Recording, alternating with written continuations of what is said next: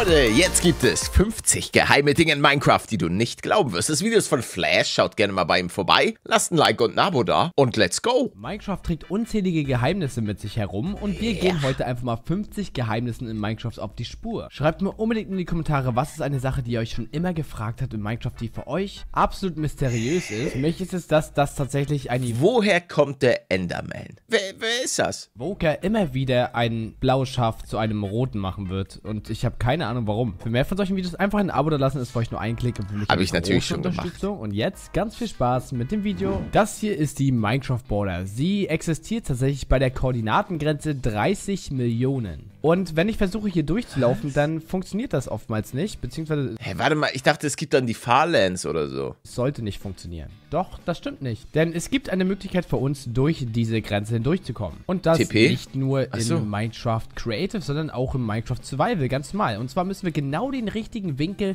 mit unserem Boot ansteuern, um dann mit einem Ausstiegverfahren genau hier hinter zu landen. Und das jetzt First Try knappt, ist, ist natürlich komisch. Problem ist bloß, im Survival werden wir dann relativ rasch merken, dass wir Schaden bekommen. Und äh, hier geht das noch, aber je weiter ich weggehe, desto mehr Schaden bekomme ich einfach. Und abbauen kann ich auch nichts. Also es ist wie... Hä, aber warum gibt's denn da eine Border? War es nicht auch so, dass Minecraft immer damit geworben hat? So, yo, Alter, die krassesten Welt, riesig, unendliche Welten. wäre ich irgendwie nicht anwesend im Spiel. Aber es geht. Wer auch immer sich die Mühe machen möchte, 30 Millionen Blöcke zu gehen, also viel Spaß. Wir uns einfach mal einen mal. Villager nehmen und diesen unsichtbar machen. Ist er ja für uns jetzt nicht mehr ersichtlich. Er ist einfach weg. Okay. Wir sehen nur noch die Partikel irgendwo oder hier so eine, ja, genau, grünen Dinger hier eben.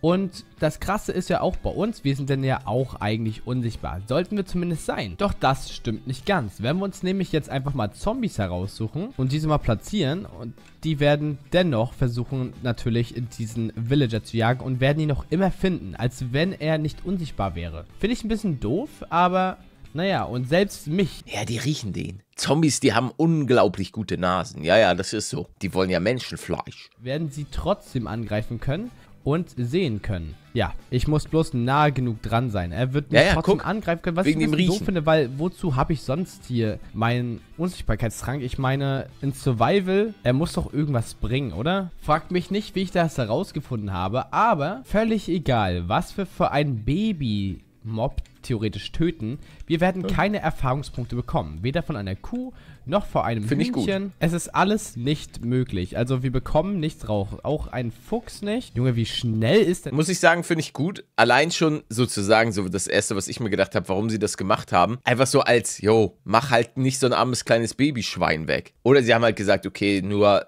erwachsene Tiere geben Erfahrungspunkte, Punkt. Selbst von einem Mini-Pferd bekommen wir auch nichts raus. Also keine Ahnung, woran das liegt. Aber es gibt ein, ich rede jetzt rein von positiven Mobs, also harmlosen Mobs. Warum auch immer. Es gibt einen Mob, wo wir tatsächlich XP bekommen. Und das sind tatsächlich Kaulquappen. Und ich habe keine Ahnung, warum. Es macht absolut keinen Sinn. Denn da können wir nämlich XP bekommen. Völlig random, völlig komisch. Ja, ich- ich glaube, ich weiß, warum. traurig, dass ich das herausgefunden habe. Aber es Ja, und zwar, ich, weil die ja erst letztens ins Spiel reingekommen sind. Und ich glaube, die haben sich darüber einfach kaum Gedanken gemacht. Weil seit wann gibt's Kaulquappen? Ein paar Monate? Ihr würdet mich absolut dreist anlügen, wenn ihr nicht schon mal versucht habt, einen Mob einfach rüber in den Nether zu ziehen. Ja, Und klar. das Ganze funktioniert auch. Wie zum Beispiel jetzt bei diesem Pferd, es wird einfach rüber teleportiert, wie ein ganz normaler Spieler eben auch. Und das Ganze geht mit fast jedem Mob. Ja, leider nur mit fast jedem. Wir können das, wir können das mit Endermänner machen und und und, außer mit Minecraft-Bossen. Und ob ihr es glaubt oder nicht, auch wenn in Minecraft mehr die Rede von etwas anderem sind, ein Elder Guardian zählt darunter nicht als Minecraft-Boss, da er einfach keine Bossbar oben besitzt und auch ein Warden nicht. Auch ein Warden zählt nicht unter die Kategorie Minecraft-Boss, obwohl er wahrscheinlich der stärkste Mob selber ist. Das macht es möglich, dass auch ein Warden rübergezogen werden kann, wie ihr eben gesehen habt, und dann einfach im Nether unterwegs Aber ist. klatscht der andere Mobs da? Mit inbegriffen sind daher nur Enderdrache und Wither. Das sind beides die einzigen Mobs, die wir nicht in andere Dimensionen mit dem Enderportal, Enderportal sag ich schon, Netherportal schicken können. Ich wünsche mir ja immer noch mehr Minecraft-Bosse. Wirklich, einfach nochmal so zwei, drei mehr. Ich habe mir das ja eigentlich vom Warden so ein bisschen erhofft, dass er eine Art Minecraft-Boss wird, aber nee. einen Trident, also einen Dreizack mit Loyalty, verzaubern, dann wird er immer zu uns zurückkehren, wenn wir ihn wegschmeißen. Er kommt irgendwo auf und bewegt sich dann einfach auf direkten Wege wieder zurück zu uns. Da kommt er, zack, ich habe ihn wieder. Und das Ganze tut er selbst, wenn wir ein volles Inventar haben. Ach stimmt, dann Das schwebt er Ganze so um einen weg, rum, ne? Machen hier alles zu. Ah, perfekt. Er kommt dann zurück zu uns, dann wird er die ganze Zeit um uns herumschwingen. Und Aber macht er auch Damage? Die ganze Zeit. Egal, ob wir schwimmen gehen oder was anderes machen, er wird einfach nicht von unserer Seite weichen. Erst wenn wir ein Item verlieren, erst dann bekommen wir ihn wieder zurück in unseren Inventar. Wenn wir einen Minecraft-Mob töten, sei es ein Schaf, bekommen wir EXP. Wir wissen das alles. Sachen wie... Ja, aber kleiner Voice Crack. Ja, muss ich jetzt auch mal sagen. Ständig, wenn Palettos Stimme versagt, der sagt ja auch immer, Leute, hört euch an bei Minute 2,24. Da hat Paletto wieder ein Voice Crack. Und ich sitze dann hier, ah, Mann, ey, meine Stimme. Ein Schaf oder eine Kuh droppen um die 3 EXP. Ein Zombie droppt 5 EXP, Sorry. genauso wie ein Skelett. Und Sachen wie ein Elder Guardian, die droppen tatsächlich 10 EXP. Also jetzt nicht unglaublich viel mehr, dafür, dass es eigentlich so ein schwieriger Mob ist. Doch abgesehen von einem Minecraft-Boss wie zum Beispiel den Enderdrachen, gibt es einen regulären Mob, der mit Abstand der erfahrungsbringendste Mob ist überhaupt. Und zwar nämlich der Piglin Brute. Er droppt nämlich 20 EXP, was ihn mit zu dem mit Abstand EXP-lastigsten Mob überhaupt macht. Man sieht das auch relativ gut eigentlich, wie viel er wirklich droppt. Aber er hält auch viel aus. Eine extrem seltsame Sache ist tatsächlich, dass wenn wir zum Beispiel jetzt in ein Schneebiom gehen, zack, wir sind hier, wir das Ganze einfach mal zum Schneien bringen und wir jetzt anfangen, nämlich unglaublich hoch uns zu teleportieren. Wir können natürlich auch fliegen, aber es dauert ewig. Wir teleportieren uns jetzt auf die Höhe 10.000. Sind immer noch die Schneepartikel. deutlich, deutlich, deutlich über den Wolken ist und trotzdem schneit es noch, genauso wie es beim Regen jetzt auch wäre, obwohl eigentlich die Wolken die Ursache für das Schneien oder Ah, oha, plötzlich äh, Professor. Ja, macht Sinn. Es hat in den Bergen geschneit, ne? Geil. für den Regen sind. Und je höher wir gehen, desto abgespackter wird das Ganze. Wenn wir jetzt 100.000 Blöcke nach oben gehen, seht ihr schon, wie das hier rumleckt und sonst was. Und wenn wir noch höher Oh, gehen, so Toilette. um die eine Million Blöcke, dann seht ihr hier schon, wie alles komplett buggy ist. Ich weiß nicht, ob wir tatsächlich noch höher gehen können. Ja.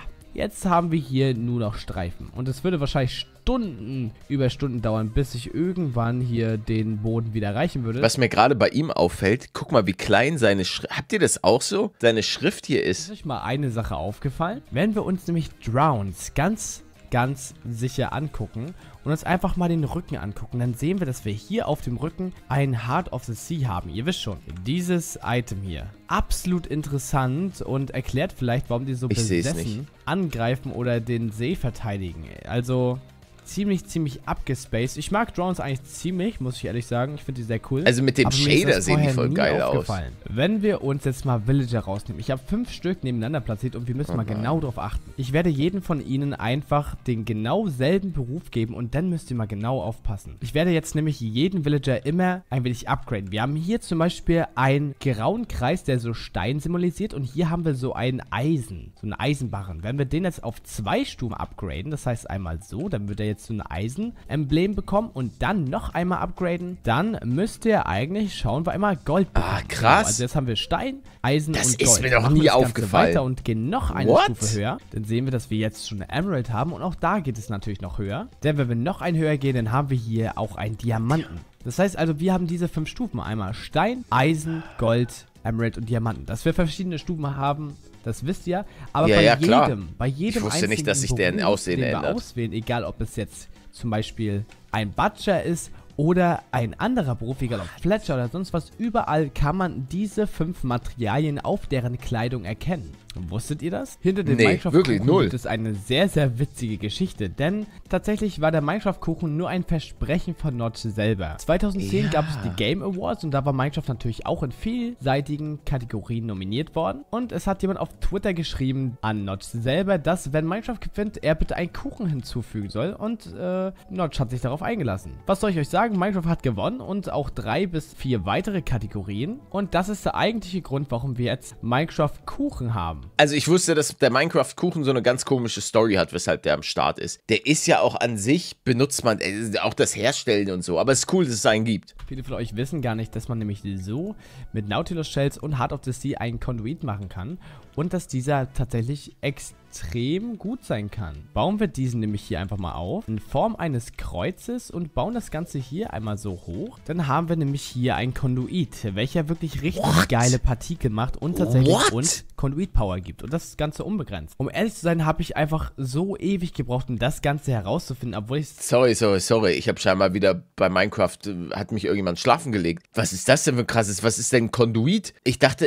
irgendwie habe ich den Namen mit dem, mit dem End in Verbindung gebracht. Und aber das sieht ja mega geil aus. können, aber ich habe mich einfach nie damit beschäftigt. Ich meine, wie also geil also sieht das bitte aus, oder? Ja, ja. Ein extrem cooles Geheimnis befindet sich auf den End Crystals. Aber sieht das nur so cool aus wegen dem Shader? Wenn wir uns nämlich jetzt einfach einen Obsidian-Block und anschließend ein End Crystal, dann bewegt er sich ja so. Und ihr seht auch verschiedene Symbole auf den Seiten des End Crystals. Jo. Es ist ein Würfel, dementsprechend haben wir sechs Seiten und sechs verschiedene Symbole. Und es wurde sich die Mühe gemacht und tatsächlich äh, sich die verschiedenen Symbole herausgesucht, um zu gucken, ob da irgendeine versteckte Nachricht ist. Und tatsächlich steht auf diesen sechs Seiten insgesamt Mojang drauf. Also, das ah, Entwicklerstudio cool. von Minecraft. Keine krasse Nachricht, aber trotzdem cool, dass sowas ja, einfach als nicht. Easter Egg so hinzugefügt worden ist, oder? Ein Minecraft Cleric ist nicht ganz sauber, glaube ich. Holen wir uns nämlich oh. einen Braustand und einmal einen Villager. Und dieser nimmt dann auch das Ganze an. Dann sehen ja, wir auf klar. der Rückseite einfach einen Creeper-Kopf. Was hast du mit einem Creeper zu tun? Ah, irgendwas haut hier ja, nicht ganz hin. Also, Kult der Creeper. warum warum sollten die einen Creeper hinten drauf haben? Irgendwie ist das ziemlich komisch und es gibt viele Spekulationen darüber. Vielleicht bist du ein Spion. Naja, wir werden das irgendwann ans Licht bringen. In den älteren Versionen von Minecraft konnte man richtig coole Sachen machen, indem man sich einfach Eis geschnappt hat und das Ganze einfach in Survival kaputt gemacht hat. Dann kam einfach Wasser raus und wir hatten Wasser im Nether. Das Ganze funktioniert obviously Stimmt, ja, das. Weiß Aber ich es noch. gibt eine Möglichkeit, das Ganze hinzukriegen, auch wenn das Ganze in Creative ist. Wir brauchen eine Kiste einfach nur, die wir jetzt hier hinstellen können und geben uns einen Debug-Stick. Haben wir diesen, können wir nämlich dann Was ist ein Debug-Stick? Waterloggen. Zack, Waterlog True. Ah, so, True. Jetzt haben wir jetzt hier Wasser und wenn wir das Ganze wegmachen, jetzt haben wir Wasser im Nether. Yay! Dennoch können wir nichts daneben platzieren. Das heißt, wir müssten eigentlich Ich finde, das sieht immer so surreal aus. wiederholen, um irgendwas hier aus... Weil ich habe wirklich noch nie, auch nie mit so einem Bug oder sonst was, Wasser im Nether platziert. Aber es ist Wasser im Nether, also why not? Wenn es in Minecraft regnet, fangen wir zu 20% schneller einen Minecraft-Fisch. Wir müssen eben nicht so lange warten, bis irgendwann einer anbeißt. 20% ist eigentlich schon ziemlich viel.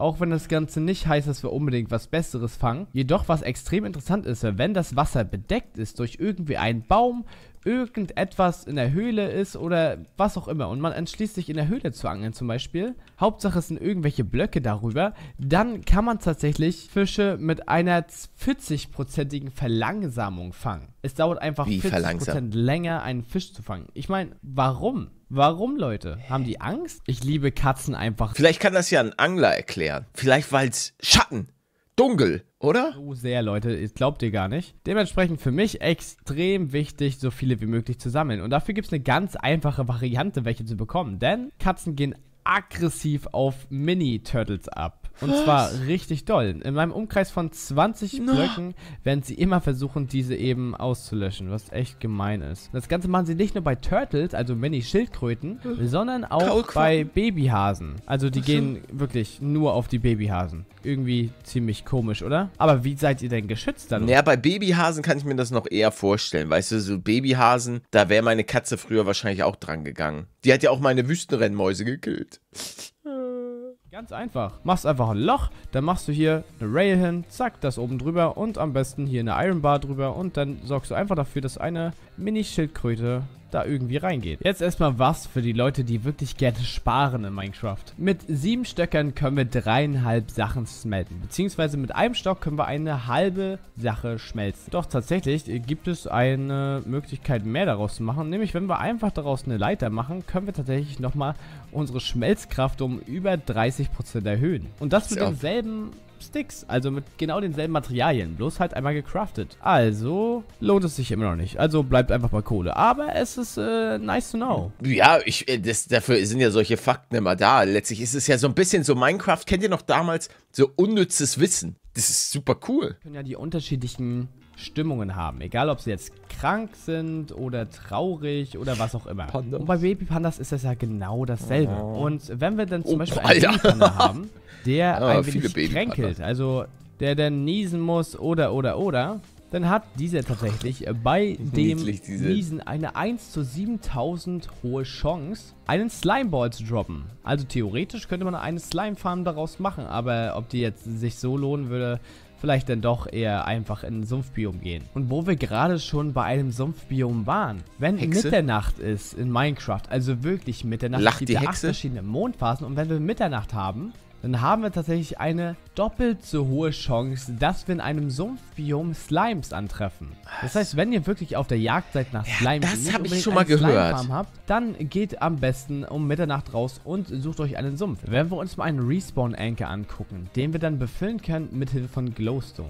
Und egal wie wir den auf Sorry, was ist ein Respawn-Anchor? aufladen oder sonst was, achtet mal auf die Partikel. Achtet mal wirklich genau auf die Partikel, die jetzt hier emporschießen. Fällt euch nichts zu ein? Okay, ich verdeutliche euch Nee. das einfach mal. Es sind einfach dieselben Partikel, die ein Enderman von sich gibt. Es sind eins zu eins dieselben. Gibt es irgendwie eine Verbindung zwischen einfach dem Nether-Portal und dem Endmonstern? Ich, ich bin Das Ding ist sowieso, was ist denn jetzt ein Enderman? Ich hab's ja vorhin schon mal gesagt. Woher kommt der? Wo, welch, we, wessen Eltern sind das? verwirrt. Ich meine, warum Also- sollte man trotzdem Zum Beispiel, es gibt ja keine Kinder von denen, oder? Partikel wirklich etwas sind, was so einfach zu Enderman. designen sind, warum nimmt man genau dieselben?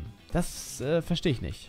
Naja, Boah. ist ja auch egal. Wenn Okay. tote Büsche eigentlich immer so ausschlaggebend waren für ein Wüstenbiom, dann erklärt mir doch einfach mal, warum die mittlerweile auch in Sumpfbiomen zum Beispiel spawnen. Ist mir vorher nie aufgefallen und macht meiner Meinung nach auch nicht so viel Sinn. Ich meine, tote Büsche gibt es natürlich überall, aber gerade in so einem nährstoffreichen Boden wie in einem Sumpfbiom finde ich das schon ziemlich komisch. Irgendwas Ist hier wirklich Mr. Bioprofessor oder was? will Minecraft uns sagen? Wenn wir uns mal eine Minecraft-Mansion genau angucken, dann gibt es eine Sache, die ich absolut irgendwie nicht verstehe. Denn es sind Räume, wo einfach LAs in geschlossenen Zellen hocken. Sie leben hier einfach und sind einfach eingesperrt. Und das ist ja nicht nur in einer Minecraft-Mansion so, sondern tatsächlich auch in Pillager Outposts, in diesen kleinen Käfigen. Und ich habe keine Ahnung warum. Was haben die Pillager mit den LAs vor? Ja, die, die, die, die müssen für die arbeiten, Alter. Sachen sammeln. Ja, ich glaube schon. Die müssen für die ackern. For free. ihr? Schreibt es mir mal in die Kommentare. Das waren 50 Geheimnisse in Minecraft. Flash, danke fürs Video. Lasst gerne ein Like und ein Abo da. Und dann sehen wir uns beim nächsten Mal.